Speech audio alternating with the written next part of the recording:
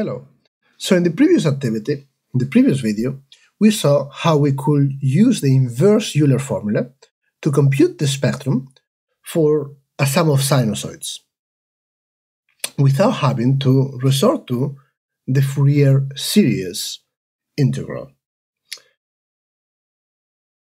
Can you use that in more complex scenarios? Like, for instance, if you have a product of sinusoids, and this comes up, for instance, in amplitude modulation.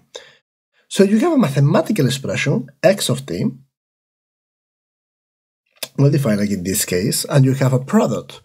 We could use the Fourier series, meaning to compute the AK coefficients, we do 1 over t0 integral from 0 to t, x of t, we plug the sine 5t, uh, 5 pi t, time cosine of pi t, like what we have here, times e to the minus j omega kt, and compute that integral. But that's much harder than actually using the inverse Euler formulas here to convert the sinusoids to complex exponential signals, multiply them out, and actually come up with the line spectra without having to do the Fourier series. And we are going to do that in this example.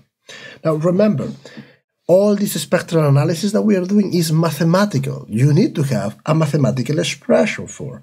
Later in the course, and perhaps more important for practical applications, in most real world situations, you do not have a mathematical analytical expression. You do not have it for temperature, you do not have it for speech, you do not have it for sound, you do not have it for images, you do not have it for eh, the stock market or financial time series. What do you have instead? You have samples, you have numbers. And if those samples have been quantized, then we are going to be able to use the digital Fourier transform and a fast algorithm to compute it without you ever having to do the mathematics. Now, this background is good because it enables you to establish the foundation for the concepts in the digital domain that we will see later on. So with that, let's start doing finding the spectrum of this signal without having to do the Fourier series. So x of t, our step number one is to write each one of the sinusoids using the inverse Euler formula. This is equal to 1 half e to the j 2 pi, and since I want to plot the spectrum in hertz, I'm going to already do the 2 pi times 2.5. So you have a 2.5 hertz t a minus 1 half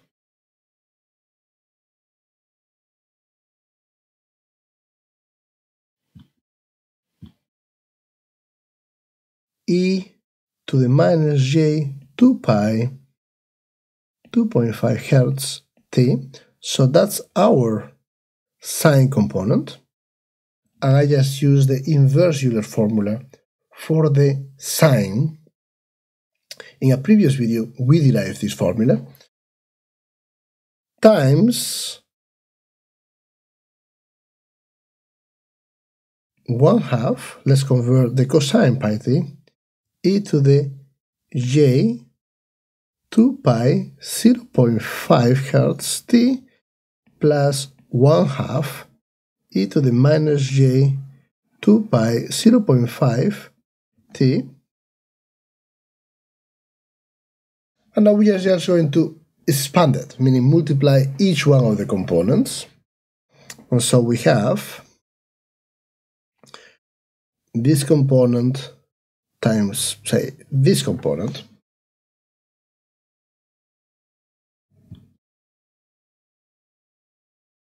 And so 1 half times 1 half is 1 fourth j e to the j 2 pi and you're going to add the 2.5 hertz and the 0.5 hertz. So you're going to give me the 3 hertz 3t that's the first component. Minus I'm going to do this other multiplication here I get 1 half j times 1 half gives me 1 fourth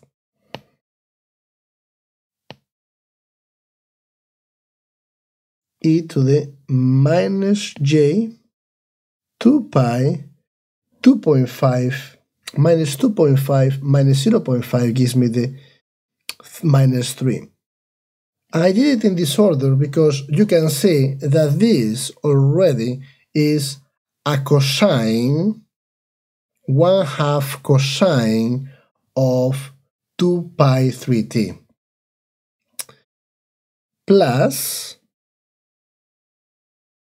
now let's go ahead and multiply this component here, cross 1, actually I'm going to do it in another line,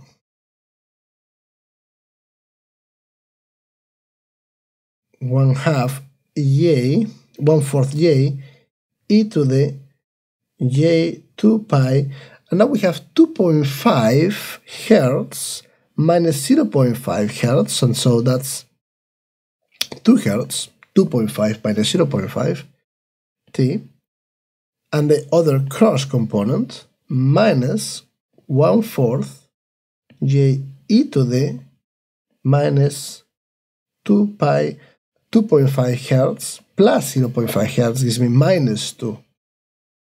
And so this, not that we have to do it, I mean, we can already plot the spectrum. This is equivalent to, let me just write it, therefore, as having uh, one, actually, let me just do the, the phases first. 1 over 4j. What is j? j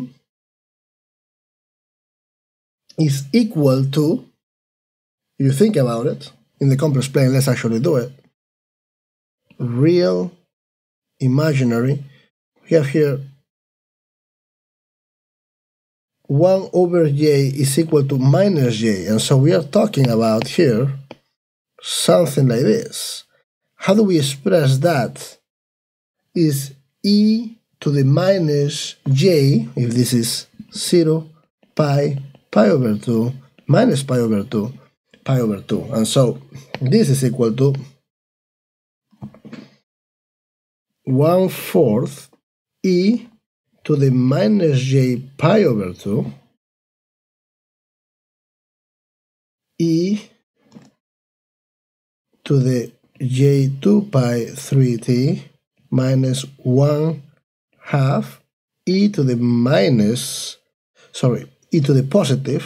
In this case, we have the minus j, the 1 over j becomes minus j, minus times minus, minus gives me there a positive. So this is plus j pi over 2 e to the minus j 2 pi 3t plus 1 half e to the minus j pi over 2 e to the j 2 pi 2t. Same thing, 1 over j becomes minus j, minus and minus is going to give me a plus. So 1 fourth e to the j pi over 2 e to the minus j 2 pi 2t. Can plot the spectrum now.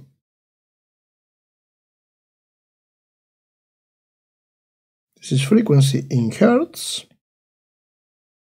Mm, and to put here 1 hertz, 2 hertz, 3 hertz, 4 hertz, 5 hertz, that's going to be enough, minus 1, minus 2, minus 3, minus 4, minus 5. And so what do we see? We see a, a component at 3 Hertz with an amplitude of 1 fourth. So we have a component there.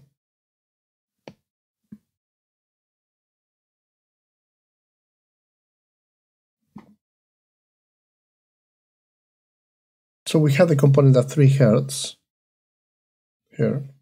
And we have also 1 and minus 3 hertz. And then we have a component at 2 hertz. And we have a component at minus 2 hertz. Now, we also have the amplitudes of each one of those. So, let's write them down. One fourth with an angle of minus pi 2 and one fourth with an angle of pi 2 and one fourth with an angle of minus pi 2 and one fourth with an angle of pi over 2.